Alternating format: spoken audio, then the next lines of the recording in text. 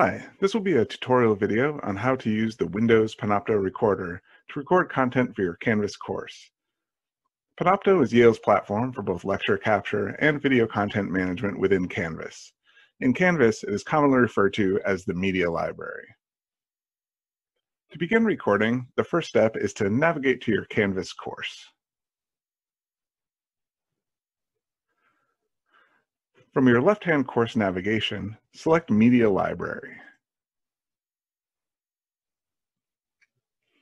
This brings you to the area where you can add media and students can find the content that has been added to your course. From the top of this window, um, you see a button that says Create. when you select Create, you see the option to record a new session. Selecting that will open up a menu where you can download the Panopto Recorder if you don't have it installed already, and this is available for both Windows and Mac. And if you already have it installed, your browser will prompt you to open the Panopto Recorder. Selecting Open Panopto Recorder will now launch the recorder software. Once in the Panopto Recorder, you have several options for both what you would like to capture and how you would like that content to appear. Starting from the top, we see under session settings um, an entry for folder. If you launch the recorder from your Canvas course, this will automatically select the folder associated with your course in Canvas. Underneath that is a field that says, name. Um, this is where you can customize a, a name for this specific recording.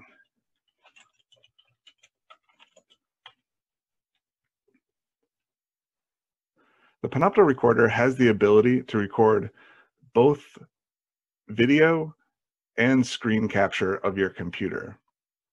Primary sources is where you'll select the devices you want to use to capture um, your primary video.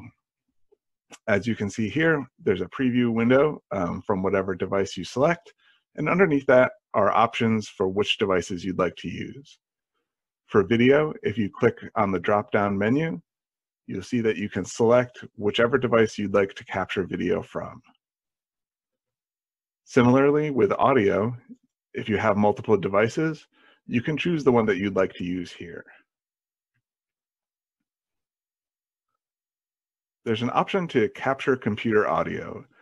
This is important if you plan on showing any content that also contains audio.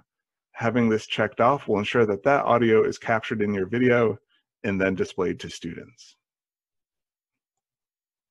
Under primary sources are your options for secondary sources. This is what will be uh, captured along with your video.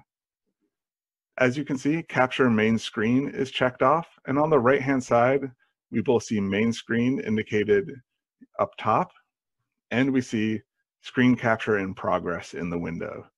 If you'd like to confirm what is being captured, you can check off Enable Screen Capture Preview, and that brings up a preview window um, of your desktop. If you would like to record a different source, um, say an additional webcam, um, or if you have another device connected to your computer, Clicking add another video source will allow you to choose another device uh, to be recorded along with your video. If you plan on only capturing video, you can unselect capture main screen and then only your video source for the primary source will be captured. Similarly, if you'd only like to capture your screen and not a webcam video, you can ena enable capture main screen, and then under video for primary sources, you can select none. This will then just capture your audio from your audio source and your screen capture. For now, we'll leave our webcam enabled.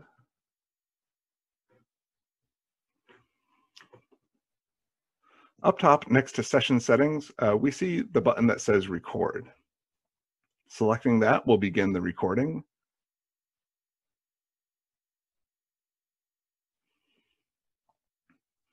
And as soon as you see stop and pause, your video is now recording.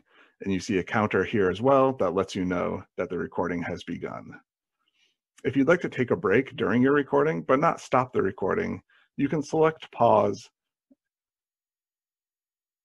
and it notifies you your recording is paused. Clicking again will resume your recording.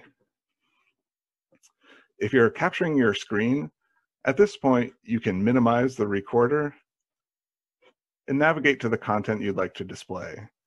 For example, we have a slide here in Google Slides that you could then present. The recorder is now capturing your screen and it is still capturing your webcam video.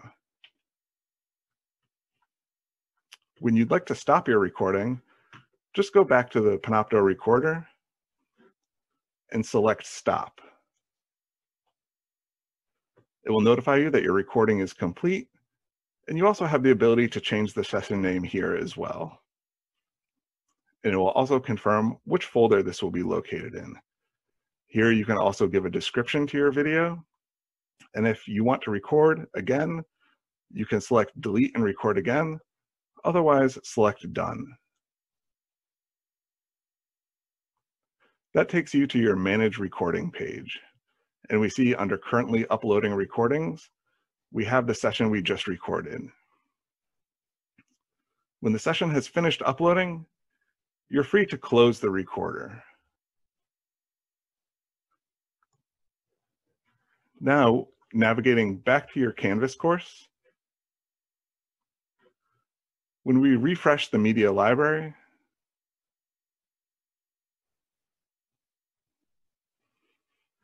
we now see the video we just recorded um, in the media library, and it just takes a little bit of time to process that recording before it's available for viewing. Once the video has finished processing, you can see that the recording name turns into a blue selectable link. And clicking on that link opens the video. And we can see that the recording that we just we just did um, is now displayed with both your webcam video on the left-hand side and your screen capture on the right-hand side. And that is how um, you can record content for your Canvas course using the Windows Panopto recorder. Thank you.